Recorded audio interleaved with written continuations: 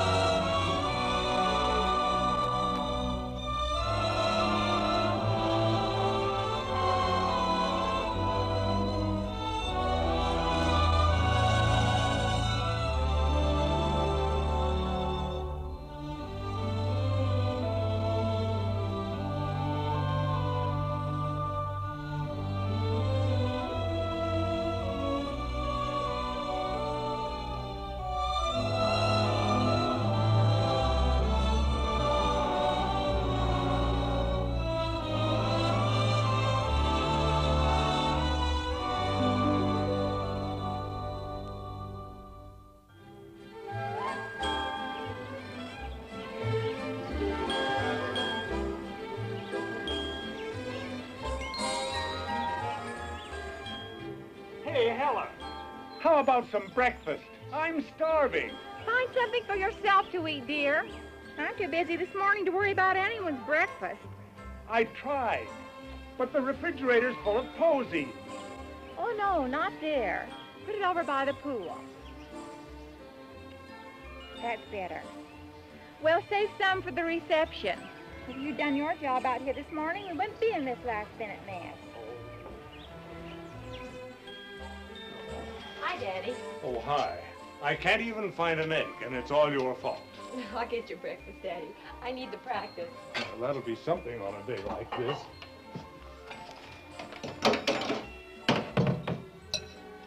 Now, let's see what I can find.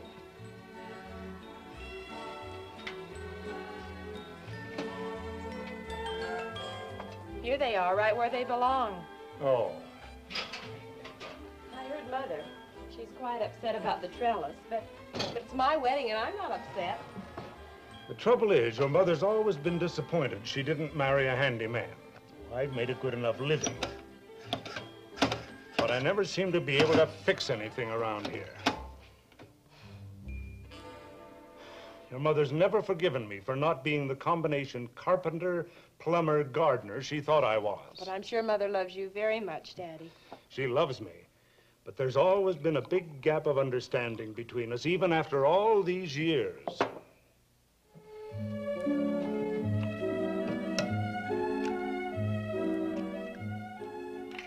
Something old, something new. A few hours from now, I'll have a new name Mrs. Thomas Lawrence Byrd. Oh, Tom, we'll be so happy. I won't expect you to be anything but your own sweet self. We'll share every thought. We'll sit by the fire and maybe you'll read poetry. Dinner by candlelight. We'll take long walks and you'll tell me I'm beautiful. Hi. Oh, no. You're not supposed to see me. Probably afraid you'll change your mind. Not a chance. Oh boy, food. Fix breakfast, honey, while I turn into a bride. Finish scrambling the eggs there. If Daddy doesn't get fed soon, he gets ugly. And everyone says I take after her. Uh, fix a couple for yourself, Tom. Thanks, I will. None of those last minute jitters for me. I know what I'm doing. It'll be a good marriage. We'll understand each other. I can picture Donna in front of the fire, darning my socks. She'll learn to broil steaks rare, just the way I like 'em, and make gravy without lumps. Push the basket through the supermarket without breaking the budget. You're a lucky guy, Tom. Just think, you're getting married today.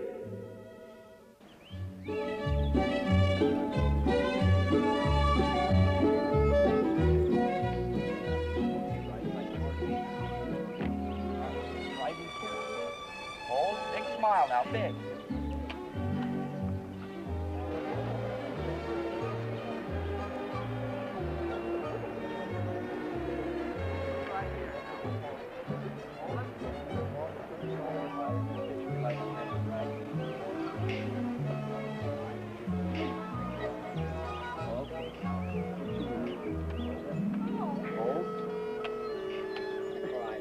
Smile as you put it in his mouth. That's it. Hold, hold, hold.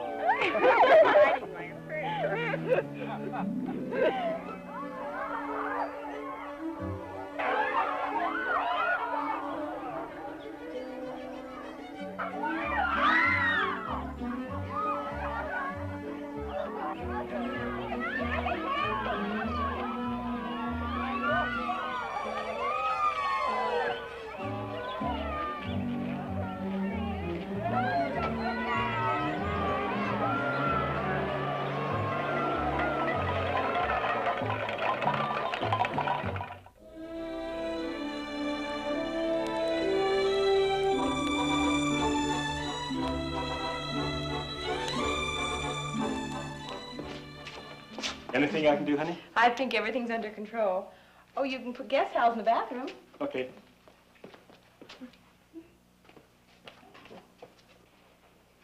Hey, what do you want me to do with these? I just washed them. They were hanging in the bathroom. Honey. Well, what's the matter with that? They're only stockings. I know, but with Mom and Dad coming? I was going to move them before they got here. Besides, haven't they ever seen stockings? Not in my bathroom. Well, this happens to be my bathroom, too. My mother wouldn't be caught dead with underwear hanging in her bathroom. Well, my mother isn't ashamed of clean laundry. Look, I'll hang them up in your closet until they've gone. given to me. Well, now listen. Now, give them to me. Please, now look. You're being ridiculous. Who's being ridiculous? Oh, This is silly. what's the matter with you? now look, this is- Folks are gonna... Hi, folks. Come on in. How are you? Father Byrd? Good to see you. Mom? Hello, Mother. Let me go check on the row. Sit down, won't you? Uh, yeah, Your come on, sit down. look beautiful. Thank you, thank you. Thank you. That's real nice.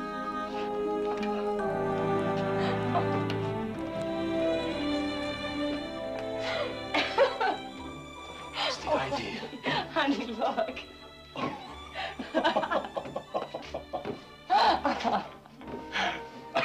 First quarrel. Let's hope they always end like this.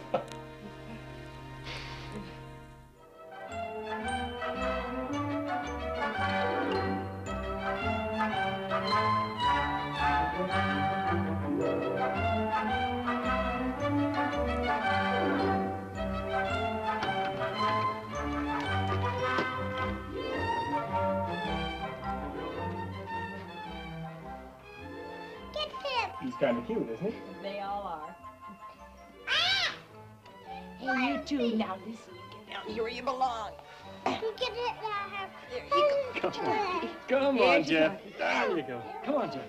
Bedtime. Atta boy. Good night, dear.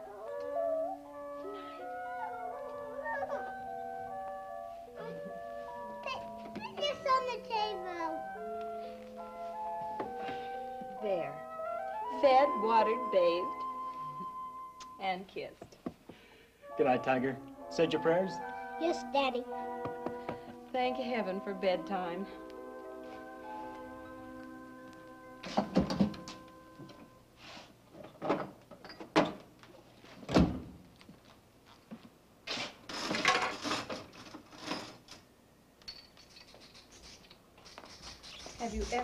Such incompatible lovebirds? Maybe they're both girls. That's not what the man at the pet shop told me.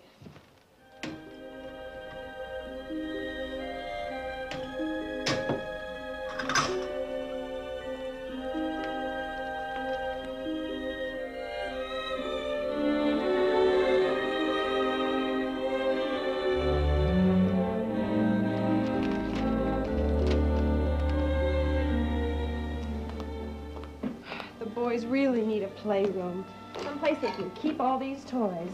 Honestly, I don't know how kids can make such a mess. I'm so embarrassed when anyone comes. Oh, what's the use? Isn't there any more to our marriage than this? Betty wouldn't notice if I grew a daisy on the end of my nose. The kids get more attention than I do. A peck on the cheek in the morning and one when he gets home. Maybe if I were four years old. Tom? Tom? Look at me. I'm having a wonderful time. What's the idea? I'm just a little girl and I want my daddy. Pete's sakes, Donna, have you flipped or something? Not yet.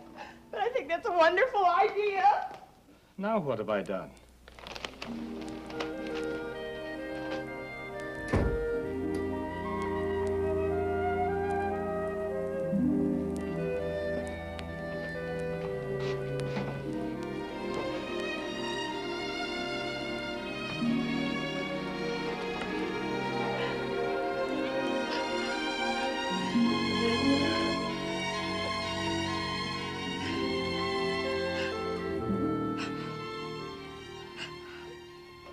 Same old thing day after day.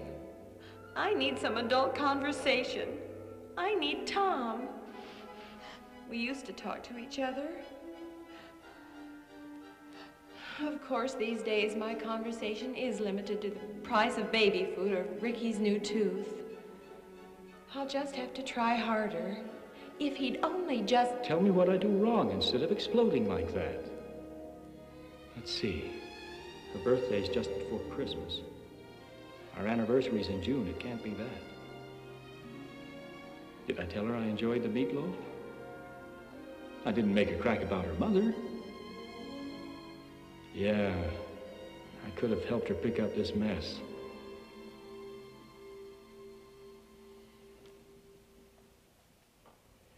It's not easy cooped up all day with the children. I ought to get her out of the house once in a while. Let her talk to people.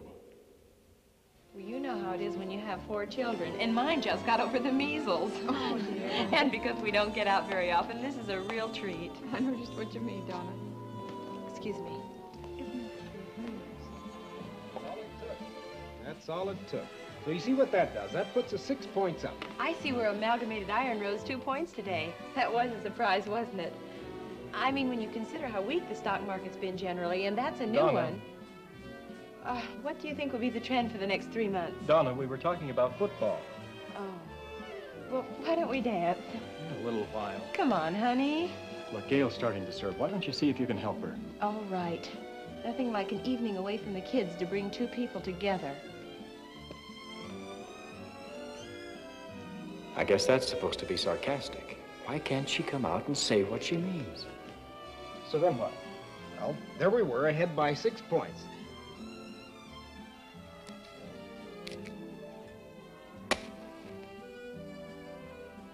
Don't know why he brought me. I might as well have stayed home in patched overalls. Have a good time? Marvelous. I'm overwhelmed by your enthusiasm. Well, what can you expect? Take me to a party, dump me in a corner, and then I'm supposed to assure you that I've had a lovely evening. I thought you liked this crowd. Listen, I can visit with Gail and Barbara anytime I want to. Tonight I wanted to be with you. So you're with me, and all you can do is gripe. Put yourself in my place, Tom. You'd be resentful, too. This is ridiculous. Put myself in your place. Try it sometime. Put myself in your place? Okay, I can try. Let's see. If that had been me trying to get your attention earlier tonight, Tom, it's good to see you circulating again. You haven't been out in weeks. Yeah, with the boss away, it's a real hassle down at the office. This is quite a treat. Excuse me, Justin. You just mix it in. It's amazing what you can do with mixes, isn't it? Did you know that you can get a shortcake mix complete with dehydrated strawberries? I mean, all you do is soak it in water for an hour. Tom, we were talking about gardening. Oh. Well, come on, let's dance, Donna. Oh, why don't you go help Roy set up the chairs for dinner?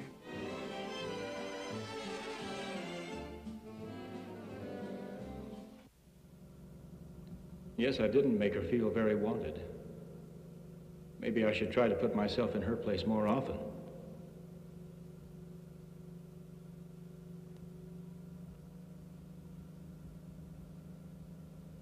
Why won't she talk to me?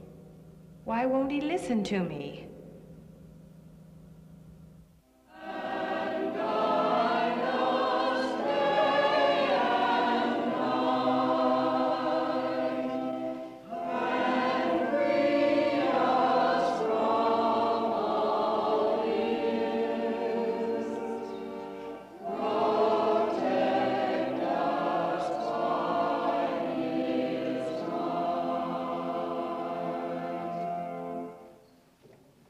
And so it's true. We could live without war, crime, divorce, yes, even without preaching, if we just lived the golden rule. If we simply did unto others, and if we respected others as individual human beings, as men and women. Now look around you even in your own homes, among those whom you love the most.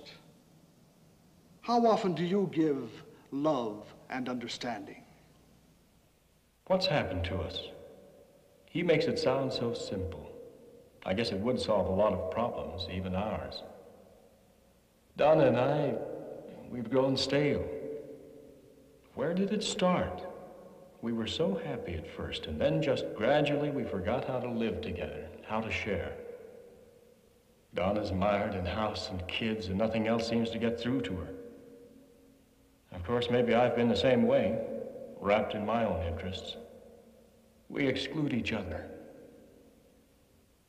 We need better communication with one another and to practice in our daily lives those small common courtesies which will bring happiness.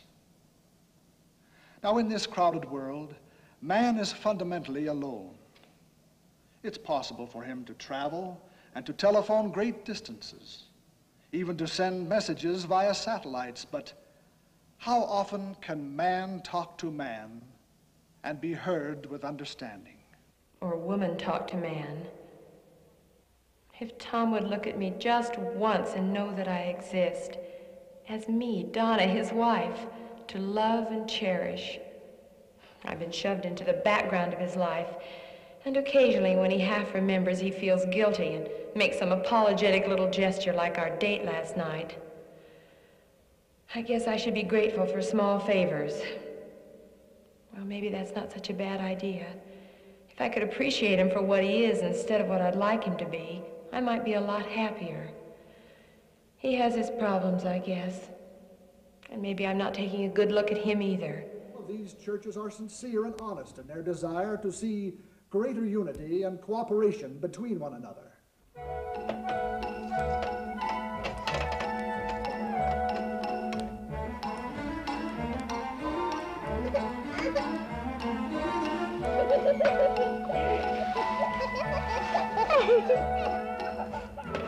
now what? Tommy, I told you to put that hose down. Oh, no, honey, no, no. Don't worry about That's naughty. Don't worry about it. I can get you another bowl. Sheila, tell you what.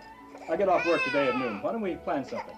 Just take the kids on a picnic. Oh, honey, I couldn't possibly. I have a million things to We'll do. do them tomorrow. Look, today's our day. I'll see you at noon and you get the picnic ready.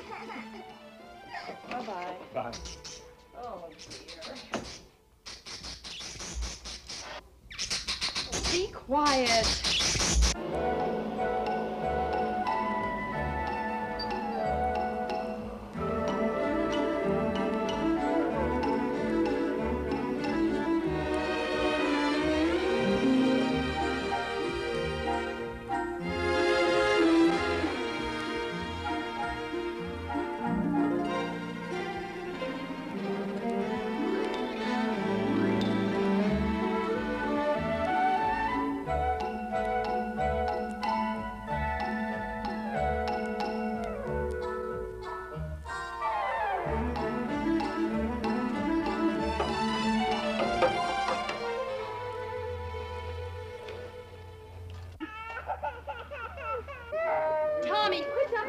On his head.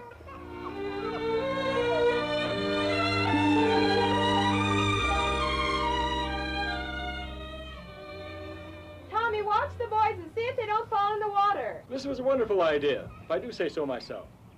Well, next time you decide to go on a picnic, give me a little more notice, please, or else make your own sandwiches. Oh, Tom, I didn't mean that. It's wonderful to have an afternoon with you. What's wrong with us? We don't have that spark anymore. Why not? Who knows? I wouldn't want to be married to anyone else. Neither would I. Then what is it? We've just sort of taken each other for granted, I guess. There's been a foul up in our communication system. Something like that. Oh, I mean it. Trouble with most marriages is people can't or won't talk to each other. Well, I've always been willing to talk to you. I'm not talking about you and me right now. I'm talking about marriage in general. Well, you can't communicate with someone who won't listen. Or with someone who won't try to understand. Are you blaming me for that, too? Is that what I said? Why can't you hear what I say instead of what you think I say? Just conditioning, I guess. It's so seldom I have an audience with you. Well, go ahead and talk while you've got the chance.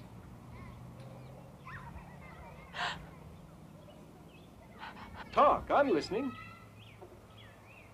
Well, for Pete's sakes, now what? You can't just say, okay, Donna, I'm receptive now. Turn it on, I'll listen this afternoon. It's your big opportunity. I'll be understanding for an hour. Well, I didn't mean it like that. Well, that's how you make me feel. You're giving me a slice of your valuable time. You're throwing me a crumb that's supposed to keep me from starving to death.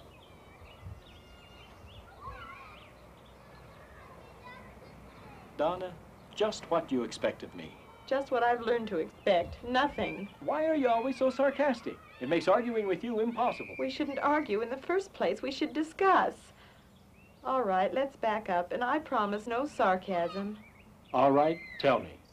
What did you expect of me when we were married? I thought we'd have a wonderful marriage. I saw you as sort of a Robert Browning, gentle and patient, overcoming my fears and uncertainty, and loving with the same intensity I would love. I guess I'd take after Mother. She expected my father to conform to what she wanted him to be. I guess I just married a man after all. How about you? Did you do some daydreaming too? Well, it never occurred to me that you would have anything to do or would ever want to do anything besides provide me with every comfort. I thought I'd be the center of your life. I expected you to be a marvelous cook, an efficient mother and housekeeper, and of course stay as young and lovely as you were the day I married you. It's funny how in marriage your realizations don't always measure up to your expectations. Mom devoted her life to Dad and his comfort.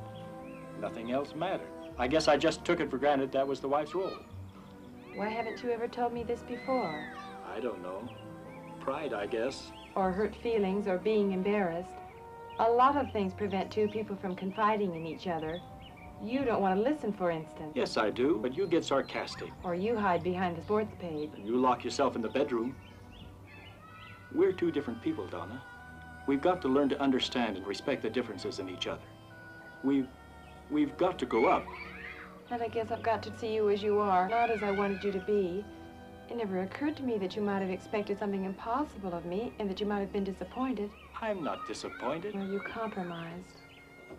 I don't think I could stand living with a perfect wife. I couldn't bear a Robert Browning. A husband is a lot more useful. What is my purpose?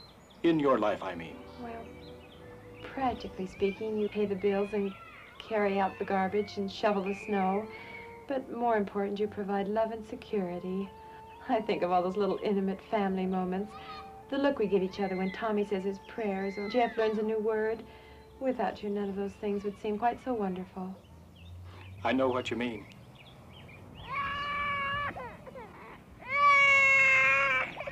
Uh-oh, back to Earth. The master's voice. Come on, children. It's time to go home now. Come on.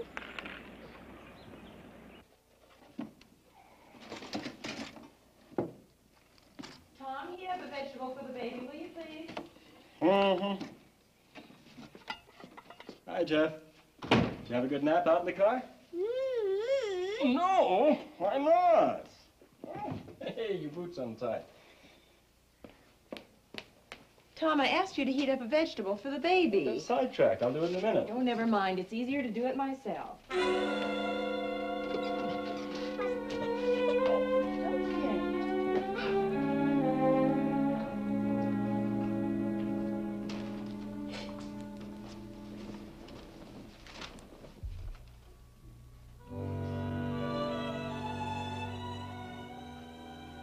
Lot of good all that communicating does. We both fall back into the same old pattern. Understanding ought to be a minute by minute affair, not something you save up for an afternoon off. Well, Donna, you just undid all that understanding you were building out there today.